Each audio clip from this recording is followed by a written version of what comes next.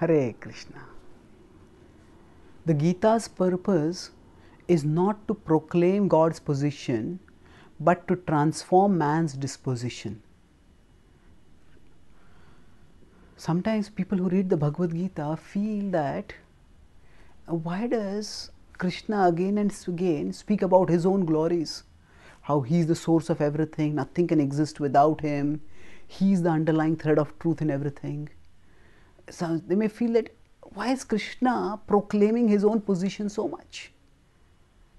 To understand this, we can look at the conclusion of the Gita. The last verse of the Gita, 18.78, states Yatra Yogeshwara Krishna, Yatra Partho Dhanurdhara Tatra Shrir Vijayo Bhutir Dhruvani Tirmatir Mama says that wherever there is Krishna, the supreme mystic, and where there is Arjuna, the supreme archer, there there will be victory, power, opulence, morality, and all prosperity. Now, this may raise a question actually, wherever Krishna is, these things will be there. Krishna is God, He is the Lord of the goddess of fortune. So, wherever Krishna is, fortune will be there.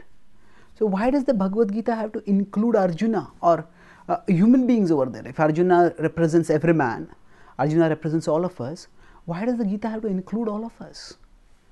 That is because the Gita's purpose is not to proclaim God's position. That is eternally what it is.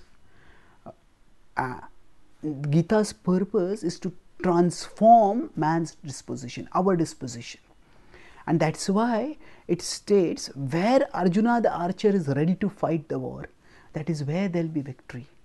The point of the Gita is to inspire us to harmonize with the divine will by understanding how that will is for our ultimate good. To the extent we understand Krishna's will, to that extent we will harmonize with it. And for understanding Krishna's will, not in terms of its specifics, which we can never understand, but in terms of understanding its overall benevolent purpose. To understand that, we need to understand Krishna's position.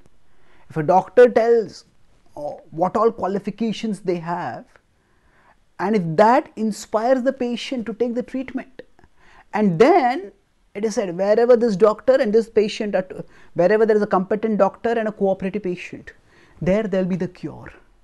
So that is the essence of the mess conclusion of the Gita. And thus the Gita's purpose in describing God's position is to inspire a transformation in man's disposition. So similarly, when we study the Gita, instead of thinking that Krishna is bragging, we can say that, see that Krishna is actually inspiring us to harmonize with His will. And if we learn to harmonize with His will, we will find that the supreme fulfillment will attain, will be waiting for us in our life journey too. Thank you. Hare Krishna.